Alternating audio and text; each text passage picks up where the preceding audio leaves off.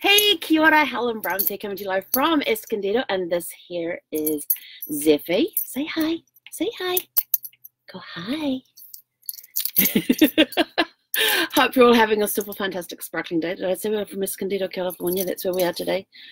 We've had a fun day today, haven't we? We have been catching up on a lot of work. Yep, we did that. And somebody rang the bells today. So I have this string of bells that I'm training Zephy how to um, say hello. Nope, just one. that I'm training Zephy on how to um, ring when she needs to go outside. But she sits and looks at them like they're disgusting, don't want to know them, nothing like that. So she's just sort of like, yeah, no, not happening, not happening. But she's trying, but she's finding things around the around the RV to play with and chomp on and all that sort of thing. And the strap at the end of the bells was sticking out. she bought it to go and chew on it, and of course it rang the bell. So I was like, "Oh, good girl, Zephy, come on, let's go!" And stuck her collar, uh, stuck her leash on her, out the door, and she's like, "What the hell just happened?" she, the poor thing didn't even have a clue what to do. Um, hang on, let me just put her down because she's getting wriggly here. Come here. You gonna say hi to everyone? Whoops, where are you going? You gonna say hi? You go, hello, hello. No, okay, come here. come here you can go and have your dinner. There you go. Um, so yeah, so she rang the bells and we had her, I had her out the door really fast and the poor and the poor dog had no clue what happened. And of course I was so fast out the door I totally forgot to put shoes on, so I'm wandering around out there in my socks. And um yeah, we're munching. Um and uh we were out there for probably an hour as she's like sniffing every plant, every every flower, everything that's out and around the um, around the RV on the site here, and yeah, she has this fascination. She was watching the bumble, the the bees as they were on the flowers and stuff, and they've got these little. I, I'm not a botanist. I don't know my plants one from the other. But there's this uh, this little spindly flowery thing that's got these little tiny um, blue flowers. And she was fascinated with this thing. And then watching the bees come in and pollinate and all that sort of stuff. And she was just sort of like, ooh, what are you? And start going sniff them. I said, no, no, no, you don't want to be sniffing those guys. They might turn around and, and um, so after we, we spent like an hour just wandering around, around and around and around Sparkles, just as she was taking it all in and, um, and that. And so we came back in and I was like, you know, I'd done a whole morning's worth. I made a great connection on polka dots. I had done a whole morning's worth of work. Um, lots of catch up today, lots and lots of catch up because we've had no internet basically for a week. So there's been frantically sending out emails to people and getting stuff done and all that sort of thing. And we came back from the walk, I said, I'm exhausted. So I went, in, went into the bedroom, laid down on the bed, and she pops up next to me, and we're playing. She's got this little stuffed alligator thing that I toss and should bring it back haven't had to teach her that one. She's worked it out herself. And she brings it back and kind of goes over in the corner and starts chomping on it. And I just go, oh, like walk the hand over there, sneak it off her and throw it, and off she goes again. Good girl. Um, but yeah, and so I ended up falling asleep there. And I woke up and she's curled up right there next to me on the bed.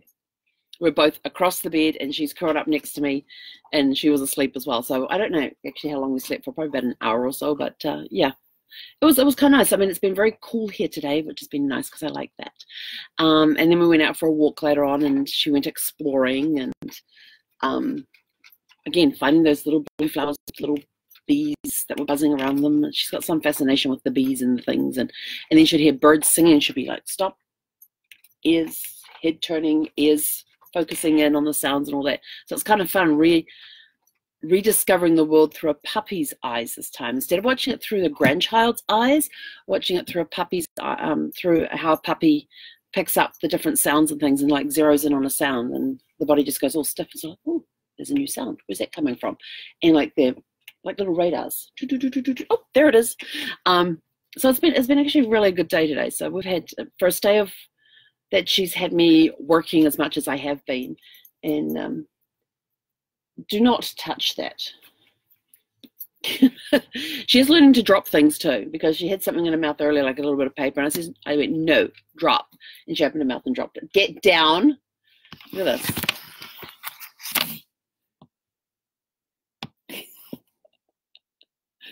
This is what I have to put up with. What you doing? Zephy, what are you doing?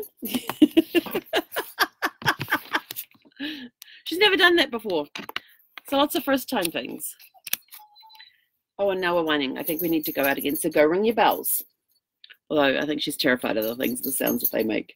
Um, but anyway, it's been a, it's been an interesting day and doing a full day's worth of work with her and taking those breaks just to go outside with her and explore things and see things through her eyes has been kind of kind of magical. Um, I'm really enjoying having her and uh, snuggling up with her and having a nap was kind of cool too. And uh, she's about to jump on the recliner, and I've got my dinner plate sitting over there. Zephy, Zephy, nope, oops. My dinner plate's getting cleaned. I totally forgot to pick up my dinner dishes. That's all on me. Thankfully, the plates don't break, so if she drops it, it's not going to break. But um, yeah, that was that was tuna with cheese and what did I have in that one? Egg, tuna, cheese, egg, chicken sausage. I think that was it, just all mashed together. It was actually really good. I made this amazing dessert tonight. I can't wait. I'm waiting for it to set. But um, trying out different things with keto and that sort of thing. And, um, you know, being a chocoholic, I got to have my chocolate. So I had, um, let's see, unsweetened, plain, full milk, whole milk um, Greek yogurt with um, heavy whipping cream, a can of organic pumpkin, um, pumpkin spices, turmeric and ginger got put in there as well, shredded coconut, unsweetened shredded coconut. Um, what else in there? Sugar-free chocolate chips, cocoa, What else did I put in there? I think That's, oh, and a few craisins, and um, mixed it all up, and it was tasting really good. And I thought, no, it has to it has to sit and marinate because um, I find with pumpkin and pumpkin spices, you got to let it sit and marinate for a little bit. So that's in the fridge for dessert tonight. Um, made a big bowl of it, so it's probably going to last me for like the next four nights, five nights. we'll see. But um, I'm enjoying experimenting with different. Um, oh, here's a definitely need a haircut. Um, experimenting with different flavors and um, so it's good to get into the kitchen. Oh, and I also put in the um, the protein powder, the keto fuel, and the keto um, protein booster as well. So it's got the the extra protein in there too. So can't wait for that to be set, ready to eat, to try it out, to see how it goes. I'm not sure what I'm going to call it. I was thinking of putting cream cheese in there too, but no, we're past that mixing stage now. So um, it's just been a really good day. So this weekend I have Networking Riches and couldn't go up to LA for it because of somebody who has separation anxiety, so she can't stay in a hotel room without screaming the place down. So um, I'm going to have to join it online. So it's kind of a bit bummed I can't be there in person, but um, at least I get to join in online. So I'm looking forward to that and seeing what nuggets I pick up this time, especially now that I'm back with a networking organization because I totally missed getting into organizations where I can make connections with people and stuff like that too. So um, met new people today. I've got appointments set up for next week. In fact, I think I'm booked through to the middle of December with appointments with um, connections with people through Polkadot. So it's going to be um, an interesting month coming up. And I accepted the yesterday accepted a role to be the mastermind um, coordinator for the Diamond Group. So that's going to be for the Diamond members. So that's going to be a new challenge um, something I'm really looking forward to as well. So that's it for me. I was planning on doing some James Bond updates today, but it didn't happen. Work got in the way.